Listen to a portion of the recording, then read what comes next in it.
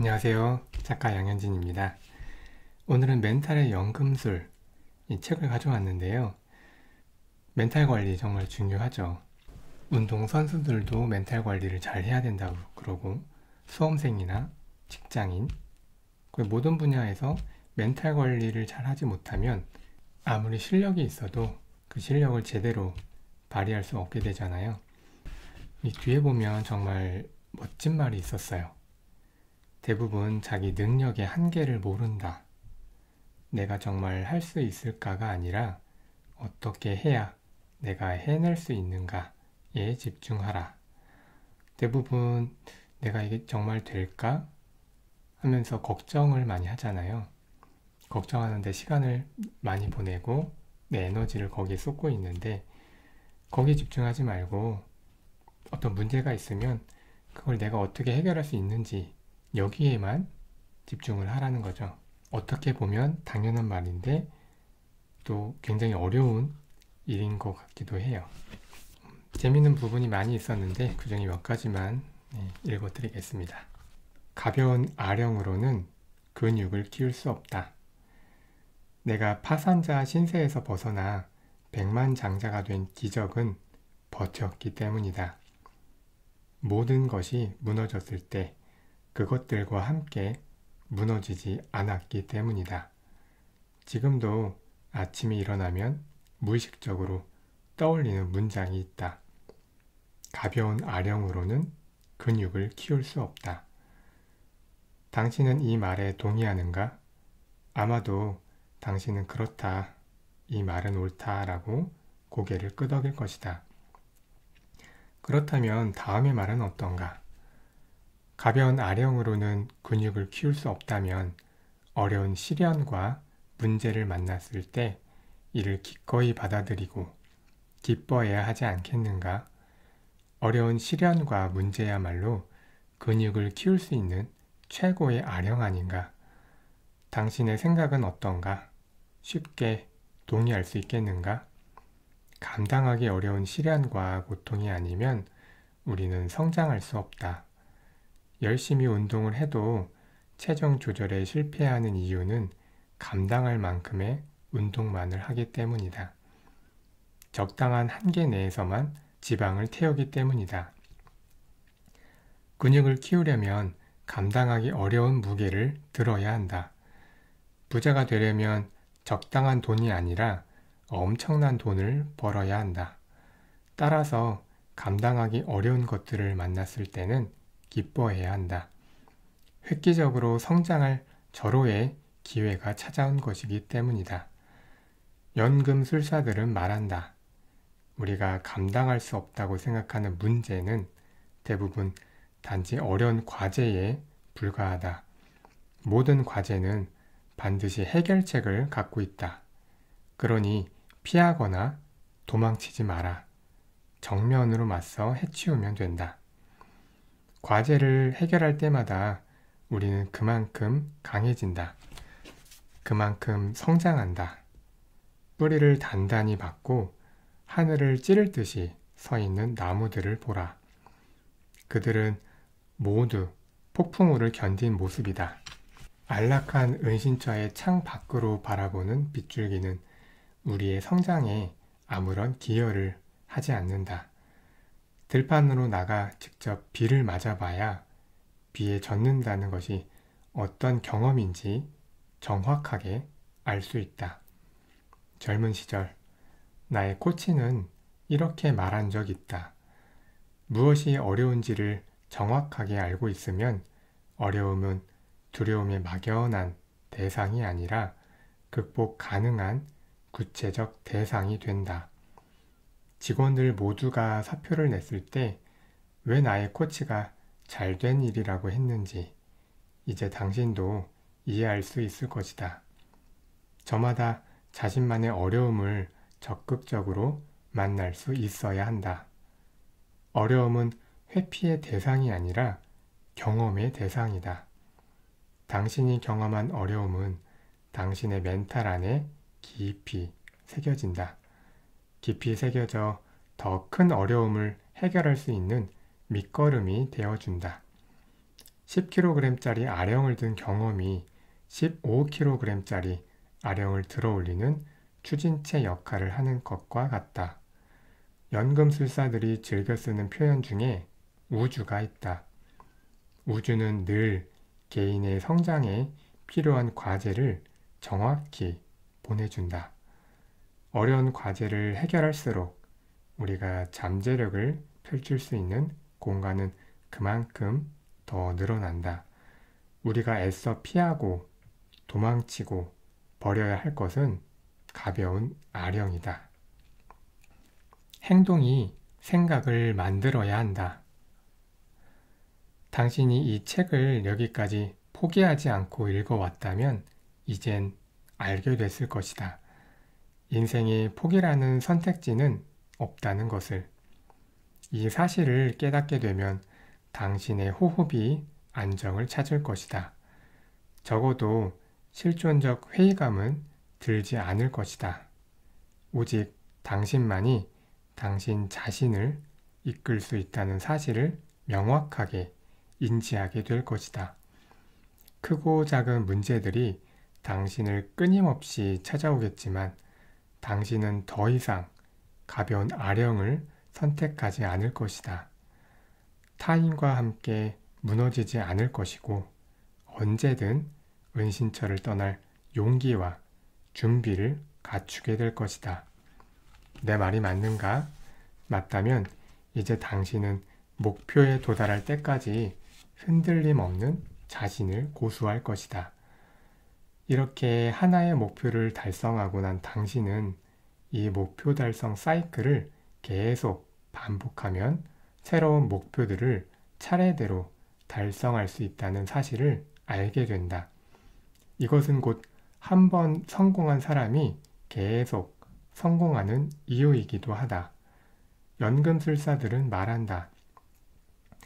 포기라는 선택지가 존재하지 않는 사람에게는 모든 것이 무척 쉬워진다. 마라톤 풀코스를 생각해보라. 출발 후 첫 5에서 10km 구간에서 가장 많은 낙오자가 발생한다. 하지만 30km쯤 되는 구간에서 낙오하는 사람은 매우 드물다. 포기라는 선택지를 인생에서 지웠다는 것은 인생이라는 마라톤에서 30km 구간을 달리고 있다는 뜻이다. 이게 무슨 말일까? 포기의 유혹을 이겨낸, 견, 이겨낸 것만으로도 우리는 꼬린 지점 가까이에 있다는 뜻이다. 정상의 턱 밑까지 와 있다는 의미다. 30km쯤 지나면 치명적인 부상이 아닌 이상 우리의 멘탈은 포기의 유혹 따위에는 털끝만큼도 반응하지 않는다. 기어서라도 결승선을 통과하겠다는 강렬한 정신력이 불꽃처럼 튀어오른다. 마지막 한 호흡을 짜내며 기어이 목표에 오른다. 이를 두고 연금술사들은 도약이라고 부른다. 마라톤 첫 구간에서 포기한 사람들이 다시 풀코스에 도전할 확률은 매우 낮다. 처음부터 너무 높은 목표를 설정했다고 핑계를 대며 진전된 행동을 하지 않을 것이다. 단지 생각에 생각을 거듭하고 고민 위에 고민을 쌓고 인상을 잔뜩 찌푸리고 그래 나랑 마라톤은 맞지 않아 수영이 나을 것 같아 하며 머릿속으로 멋진 수영복을 입고 푸른 물살을 가르는 상상에 젖는다. 이 같은 사이클 또한 반복된다. 수영에서 스키로, 스키에서 행글라이딩으로 도전 종목은 계속 바뀌지만 하나의 포기 사이클이 동일하게 반복된다. 그렇다. 우리가 강력한 멘탈을 갖고 피나게 노력하여 얻어야 할 것은 성공이 아니다. 성공을 가능하게 만드는 좋은 사이클이다. 이 좋은 사이클을 만드는데 필수적으로 요구되는 것이 포기를 모르는 멘탈이다. 우리는 성공하거나 실패하지 않는다.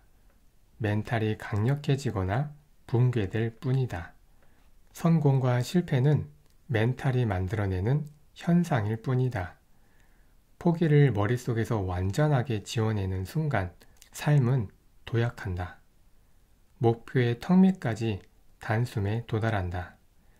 고지가 바로 저기인데 여기서 포기할 사람은 아무도 없다. 언제나 턱 밑까지만 가면 된다. 그러면 상상도 못했던 힘이 우리 안에서 솟아오른다. 연금술사들은 말한다. 생각이 행동을 만들면 안 된다. 언제나 행동이 생각을 만들어야 한다. 오랜 생각 끝에 나온 행동은 장고 끝에 악수일 가능성이 높다. 특히 좌절감이나 무력감이 찾아올 때는 즉시 행동하라. 뭔가 일이 벌어지고 실행하는 동안 멘탈은 점점 강해진다. 내가 정말 완주할 수 있을까? 고민 끝에 마라톤에 참가한 사람들은 대부분 첫 구간에서 탈락한다. 조금만 힘들어도 거봐 내가 아직 완주할 능력이 안 돼 라고 핑계를 대며 곧장 그만둘 것이다. 부딪혀보자 라는 결단으로 참가한 사람이 완주는 못하더라도 첫 구간 이상 뛸 확률이 높다. 인상적인 경험을 얻을 가능성이 크다. 아무것도 하지 않으면 아무 일도 일어나지 않는다. 즉각 행동에 나서면 무슨 일이 일어날지 아무도 모른다.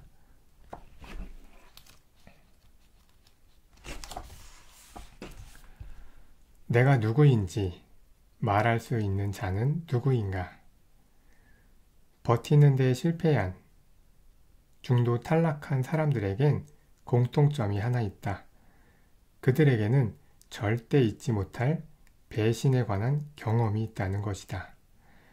배신의 기억을 갖고 살아가는 건 매우 위험하다.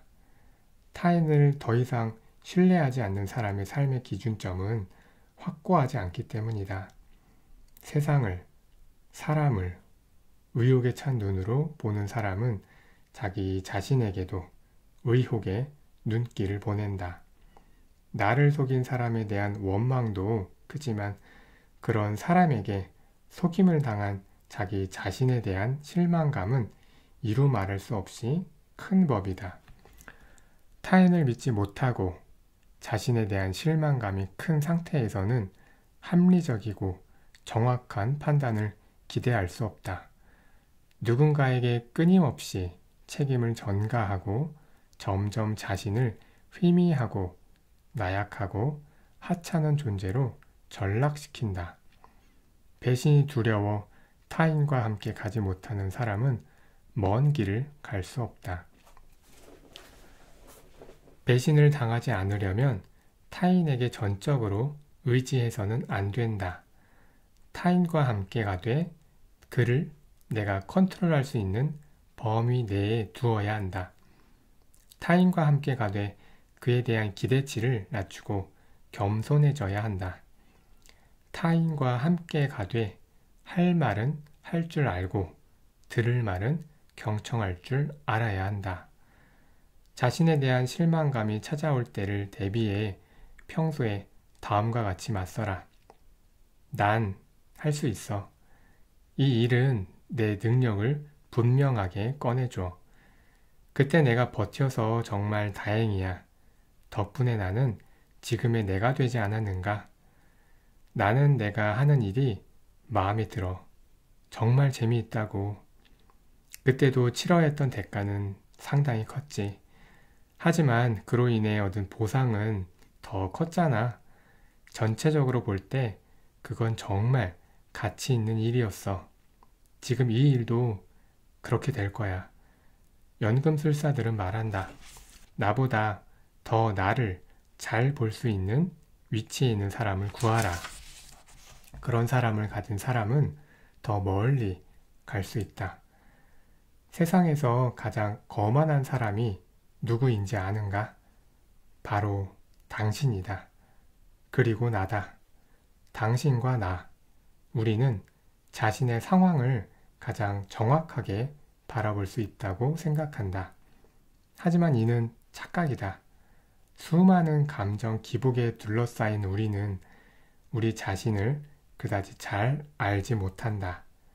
믿고 싶은 것만 믿으려 하고, 보고 싶은 것만 보려 하고, 듣고 싶은 것만 들으려 하는 확증 편향에 빠진 오류 투성이 인간. 이것이 곧 우리 자신에 대한 가장 명쾌한 정의다.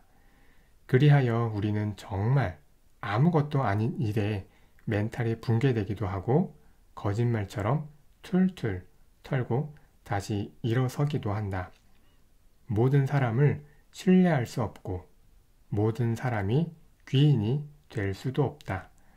믿었던 사람에게 상처를 입었다면 배신감에 치를 떨 것이 아니라 그 믿음을 빨리 회수해 더 적절한 사람에게 줄 방법을 찾는 것이 현명하다. 내가 누구인지 정확히 말해줄 수 있는 사람을 구하라. 멀리 가고 싶다면 그 사람과 함께 가라.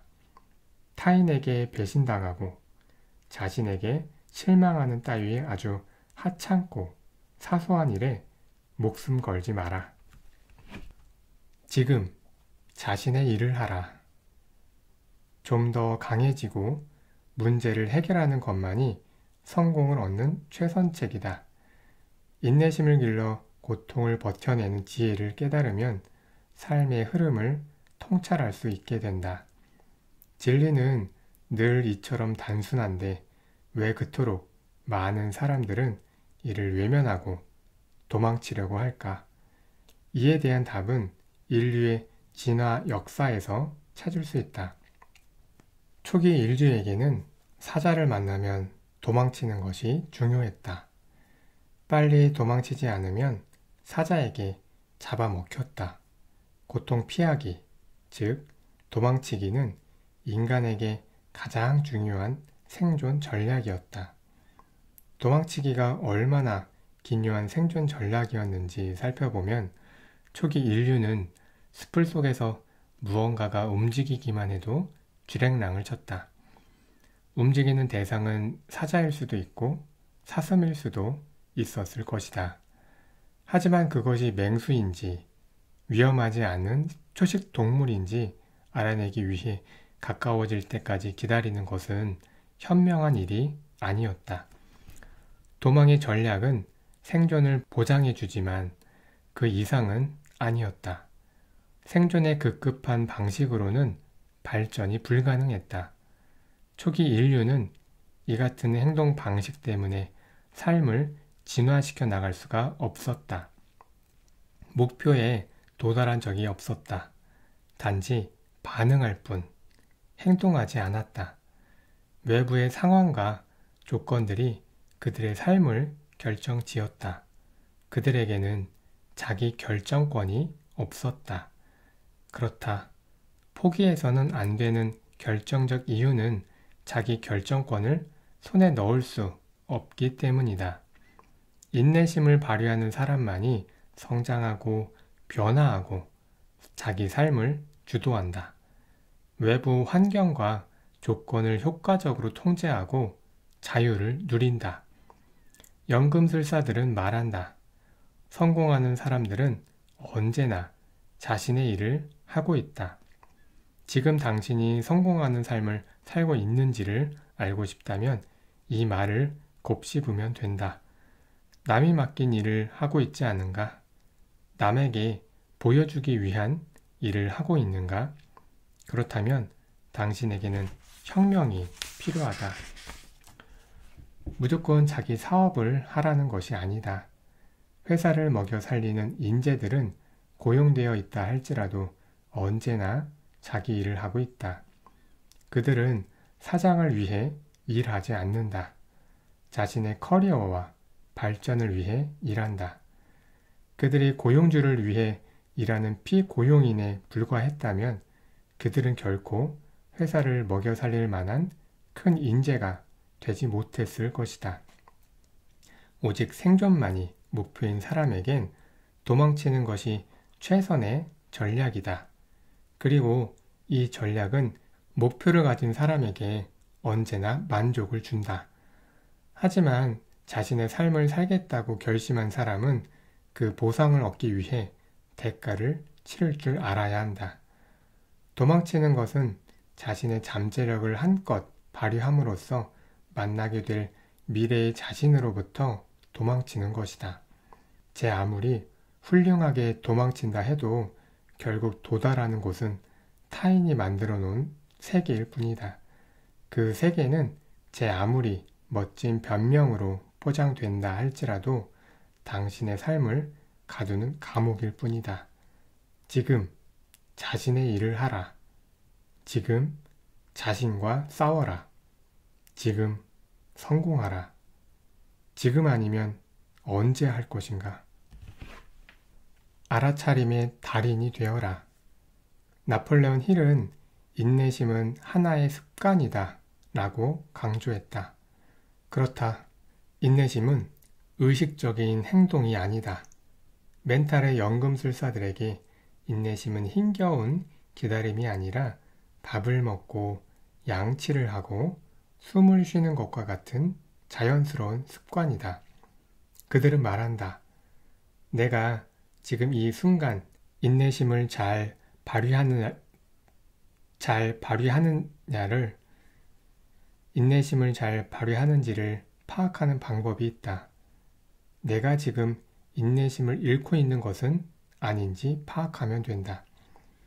평소에 독서를 좋아하는 당신이 언젠가부터 책을 읽지 않고 있다는 사실을 알아차렸을 때는 당신의 삶에 수정이 필요하다.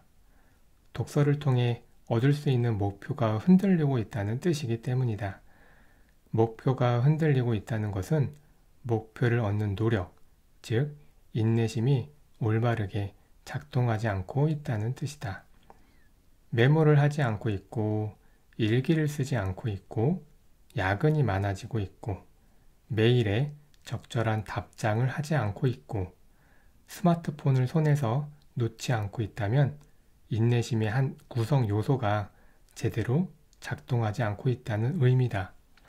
자기 일에 100% 전력을 다하지 못하고 있다는 느낌이 들 때도 마찬가지다. 이는 딴 생각을 하고 남은 시간에만 자기 일을 하고 있다는 의미다.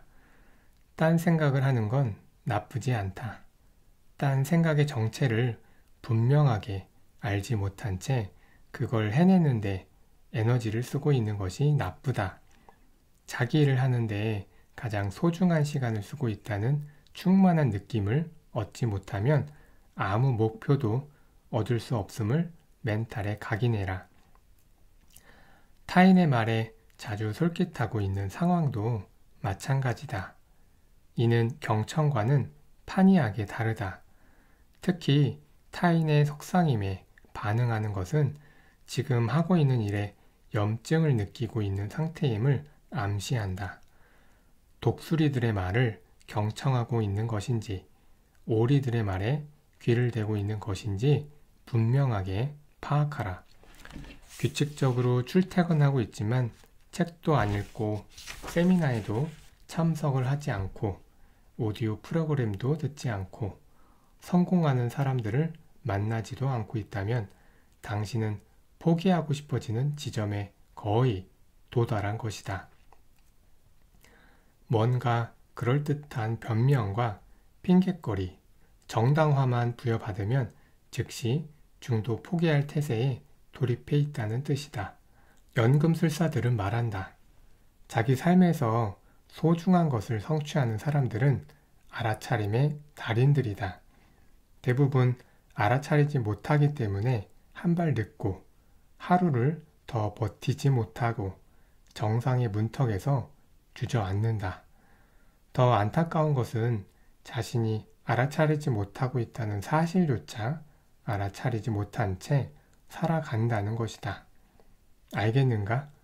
포기하는 사람은 정말 최선을 다해 포기할 준비를 한다. 리스트를 만들어라. 인내심은 우리 삶의 기초 체력이다.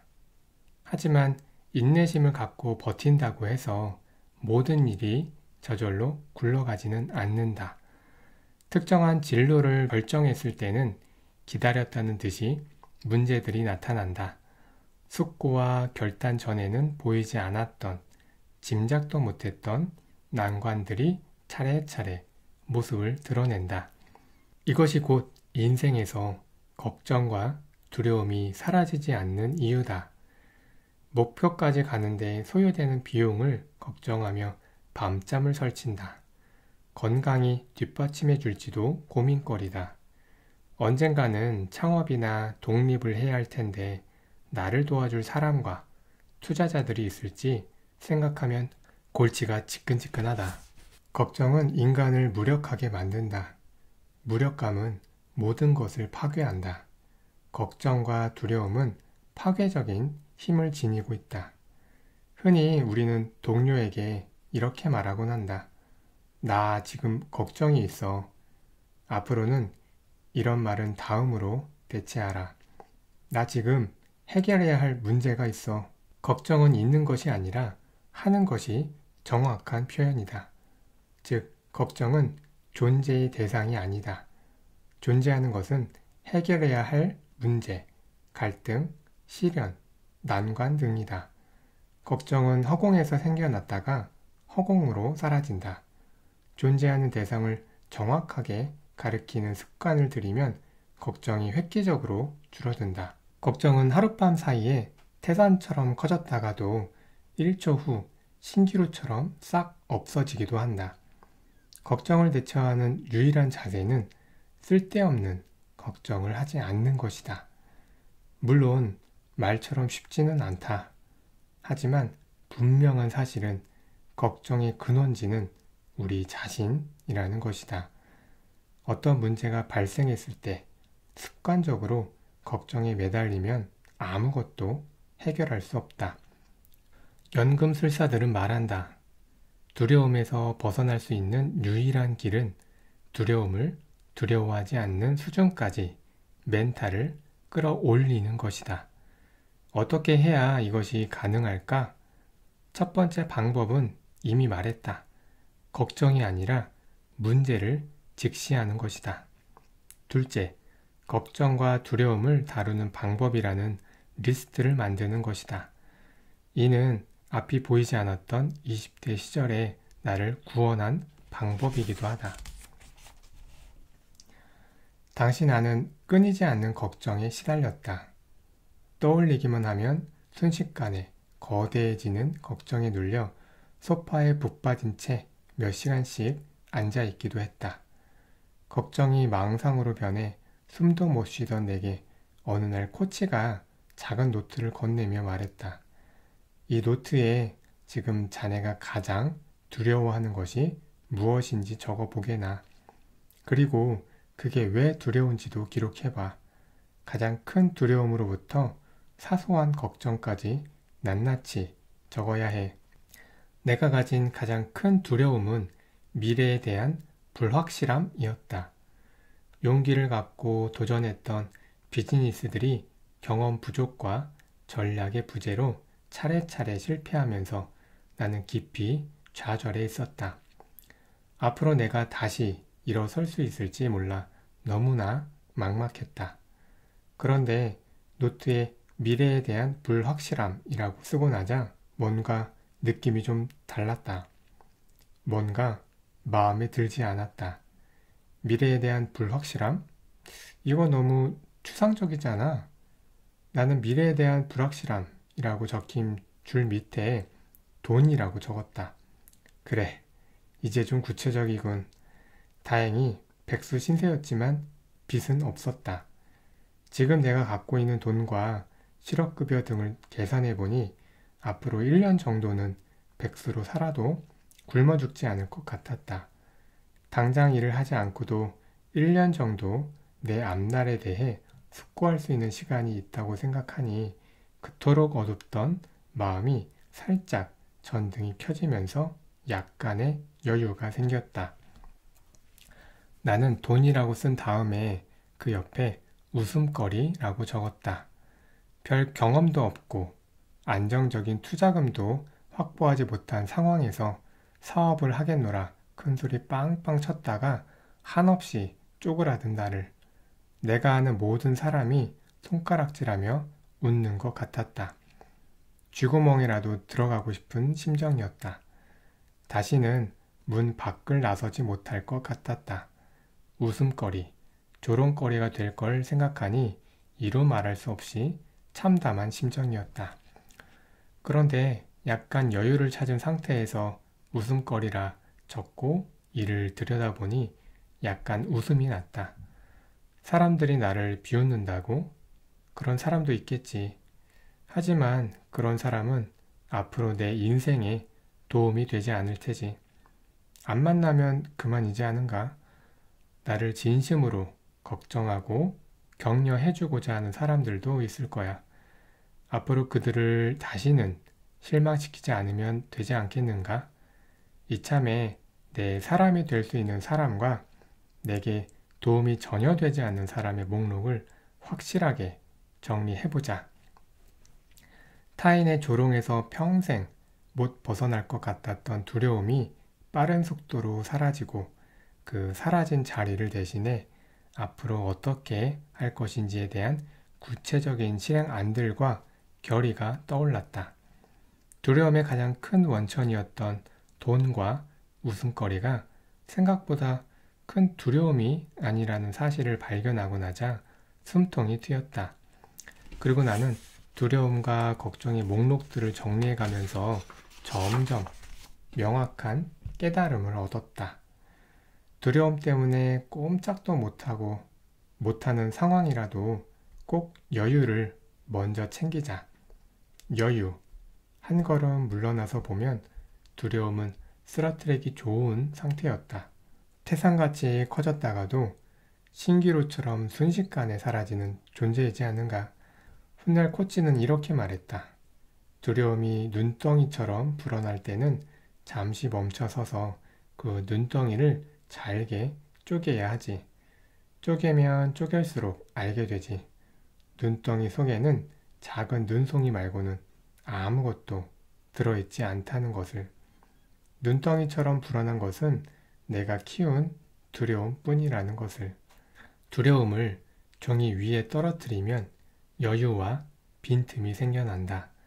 그 빈틈으로 호흡을 가다듬으며 종이 위에 떨어뜨린 두려움을 잘게 쪼개는 연습을 하다 보면 구체적인 해결책을 찾게 되고 일상을 회복하게 되고 자신감과 열정을 얻게 된다.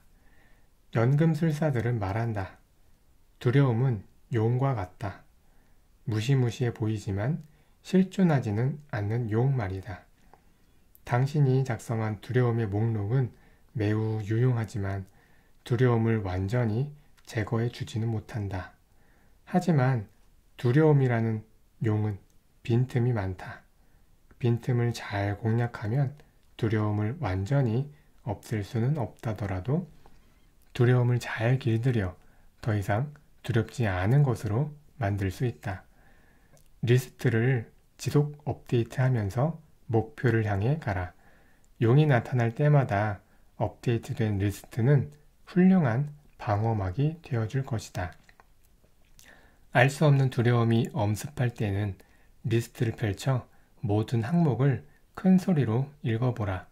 끝까지 읽는데 10분 이상 걸리지 않을 것이고 엄습하는 두려움을 무력화시키는 데에도 10분 이상 걸리지는 않을 것이다. 자, 재밌게 들으셨나요? 여러분들도 멘탈 관리를 잘 해서 세상의 모든 장애물들을 황금으로 꼭 만들어 가시길 바랍니다. 오늘은 여기까지 하겠습니다. 고맙습니다.